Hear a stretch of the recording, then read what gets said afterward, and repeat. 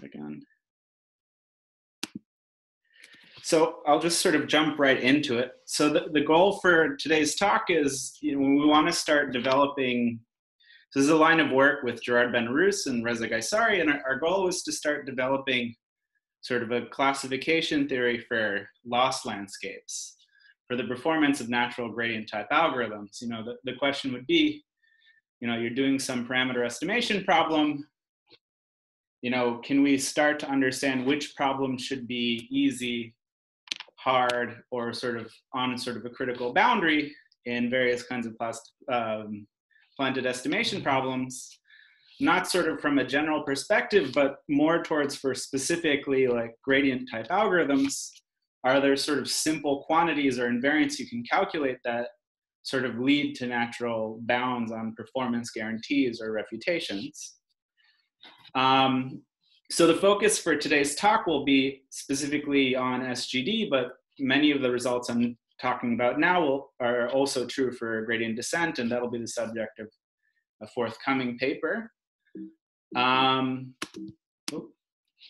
so, okay, so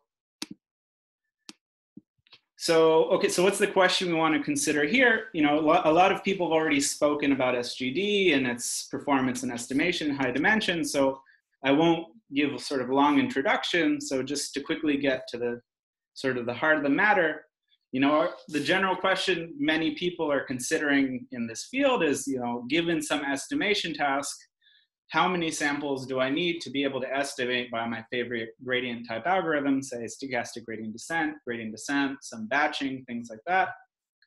Um, you know, questions of sample complexity and time complexity. For today's talk, I'll just focus on stochastic gradient descent, so sample complexity and time complexity are the same. And so, you know, this is a conference on high dimensions. So, but first I should mention, you know, there's a very like large, well-developed theory for fixed dimensions in these settings, where the dimension is fixed and then you send time to infinity. Um, you know, there's works on sort of limits, functional central limit theorems, the ODE method, um, there's even stronger results on rates of convergence once you start adding extra assumptions like convexity. Um, and a lot of these works, you know, the idea is, you know, since n is fixed and t is large, basically you ignore sort of a burn-in period for the algorithm. And then you really only care about its behavior after a certain phase where the algorithm seems to start behaving in a regular fashion. More recently, you know, this a lot of people started focusing on the high dimensional perspective where you know the standard results don't immediately apply. Um, there's been a lot of sort of model by model results in this direction and i'm only sort of mentioning very few here. Um, but so you know what what we want to talk about is you know the following the focus for today's talk is also the high dimensional setting and our hope is to start to general to develop sort of a, a general framework for this, just in terms of geometric properties or analytical properties of the loss landscape. And sort of let me first, before actually stating what we study specifically, let's let's just think about what stochastic gradient descent does. You know, so typically people feel like there's sort of two phases in stochastic gradient descent. There's an initial search phase for the algorithm, where the dynamics is sort of, you know, the algorithm sort of wandering around in this landscape, which is highly non-convex.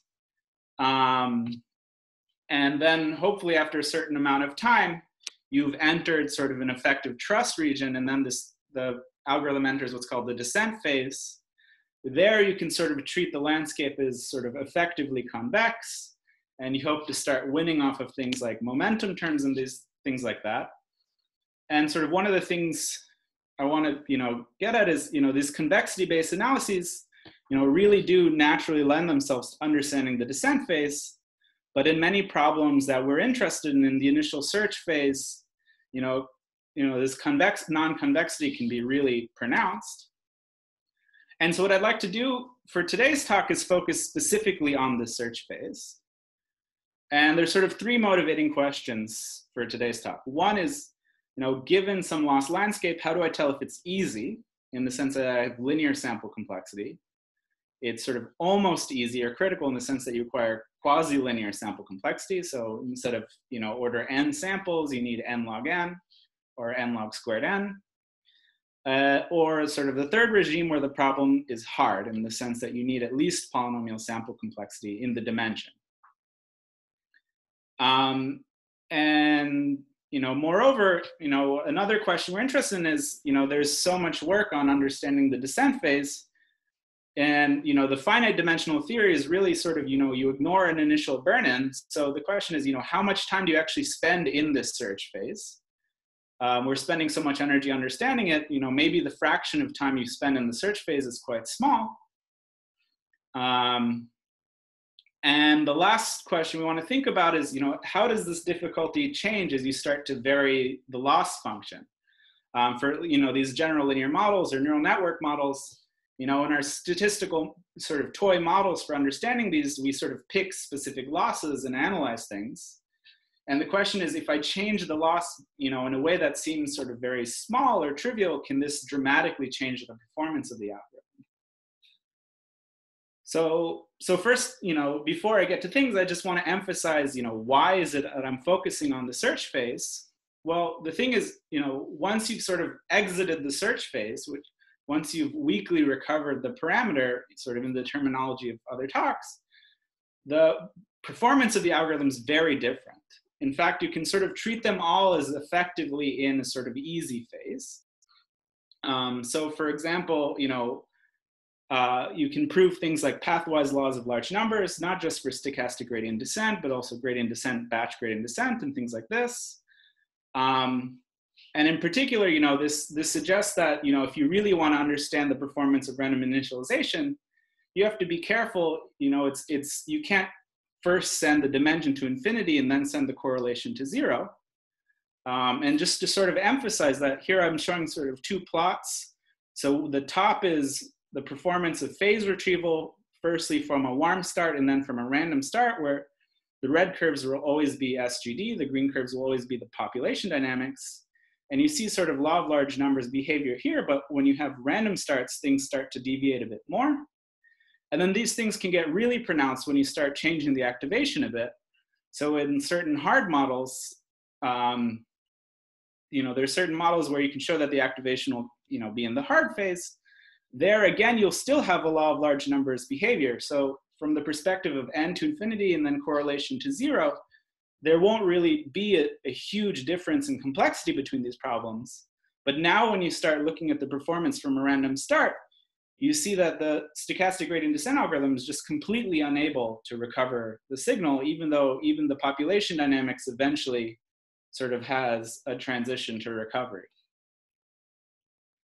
Um, so, okay, so with that in mind, I want to focus on a fairly simple setting We'll focus on what I'll call rank one estimation in high dimensions. So what do I mean by this? So we'll focus on the specific case of, you know, let's, let's take the sphere in high dimensions, um, and we'll assume that the population loss, which is to say the expected value of the loss under the data distribution, um, is a nonlinear function applied to a linear observation. Namely, you take the, the correlation between your estimate and the true parameter as defined by a normalized inner product, and then the population loss would be a function applied to this um, correlation, right? Of course, in our settings, we don't actually have access to the population loss, but from a theoretical perspective, you know, this is gonna be our assumption. And just to sort of understand that this isn't a completely artificial setting, a lot of, you know, interesting models fall into this class. So for example, generalized linear models in the sense of like Nelder and Wedderburn fall into this, sort of like the GLMs that have been considered earlier in today's talks, sometimes called single layer networks, things like phase retrieval, multi-component Gaussian mixture models, matrix and tensor PCA. So this, you know, this setting does capture a large class of problems that many people in this audience consider. Um, and the algorithm we're going to consider is stochastic gradient descent. I just want to sort of define it exactly since from talk to talk, sometimes that can you know vary. So it's a problem where you know you have some input because it's an iterative scheme. You have some input, a loss you're trying to optimize, m data points, and some step size. And what you do at time t, you do a gradient update and then you project onto the sphere since we know that we're always living on the sphere. And then the output of the algorithm is after I've run through the whole data point, where am? And the question we want to consider, you know, formally, you know, we, we want to understand what it means to exit the search phase. So in high dimensions, you know, natural initializations typically have correlations that are order like one on the square root of the dimension. And typically in a lot of these problems, you enter an effective trust region once this correlation is order one. So we'll say that the stochastic gradient descent uh, weakly recovers the parameter um, that you're trying to you know, estimate. If for some positive epsilon, the probability that this correlation is bigger than epsilon tends to one. And sort of specifically for this talk, what we'll talk about is, you know, how many samples, how large does M need to be with respect to the dimension to be able to weakly recover from a uniform at random start. So the key quantity that'll show up in our analysis is what's what we'll call the information exponent. So what it is as follows. So you have your data distribution, P sub n, and your loss function, L sub n. And so given a sequence of data distributions and loss functions, we'll say that in the large dimension limit, they have information exponent k. If the nonlinearity that shows up in this, uh, in the population loss, remember we assumed the population loss was a nonlinearity applied to the correlation. We say you have information exponent k if the nonlinearity is sort of zero at the origin, its first k minus one derivatives is zero at the origin, its kth derivative is strictly negative and its k plus first one is, is bounded. Right, this is just to say that, you know, if you do a sort of a, a Taylor expansion of this quantity about the equator, we're assuming that the sort of kth order term is the first non-trivial term in the expansion.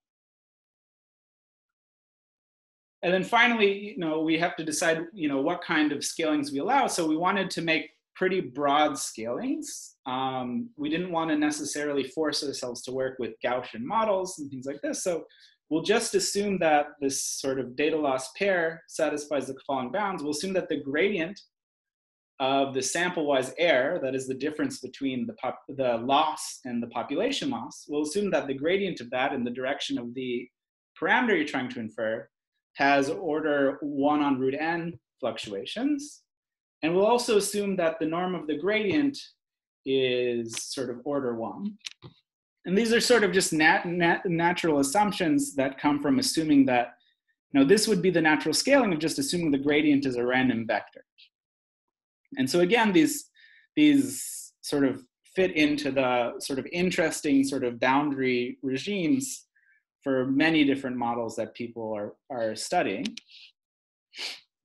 Um, and so what we find in the end is, you know, under the scaling, the, why are things, you know, complicated? Well, here, you know, you're sort of in exactly in a critical regime where, you know, this there's this nonlinearity term, which is, you know, m to the power k divided by n, basically, which when m is order one on root n is very tiny, is competing with uh, sort of the landscape itself, the, the noise, and the noise is of an order of magnitude, which is order one on n. So these two only really compete with each other once you weakly recovered. But before weak recovery, this term is the dominant effect.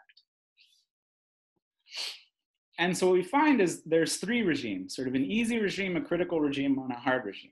And sort of we have formal statements, but just to sort of speed things along, I just want to sort of get to the summary. Uh, what we find is the following. So if you do, if you run SGD in a landscape that has information exponent one from a uniform or random start, you need linearly many samples in the dimension. If you study a problem that has information exponent two, for example, phase retrieval, SGD would require at least n log n to be able to recover, and will require at most n log n squared many samples to recover. And if you're studying a problem that's, say, in the hard regime, um, then you'll need at least polynomially many samples in the dimension, and the exponent depends on this information exponent. So that's sort of the first result. And the second thing, just to get to the second question, you know, how much time do you actually spend in this weak recovery phase? And one of the upshots we wanted to get at, you know, as is that as a consequence of the law of large numbers, once you weakly recovered, you're kind of always in this easy regime. and so you see, if you look at the fractional time I spent, which is to say the fractional of the, the fraction of the data I use in the search phase in either the critical and the hard regime, you know, the ratio of the total of the, the time I spend in the search phase to the total time is essentially tend, is tending to one, right? You spend essentially no time, or which is to say the amount of time you spent in the descent phase to the search phase is tending to zero. You spend the vast majority of your data just trying to find your trust region in this high dimensional setting.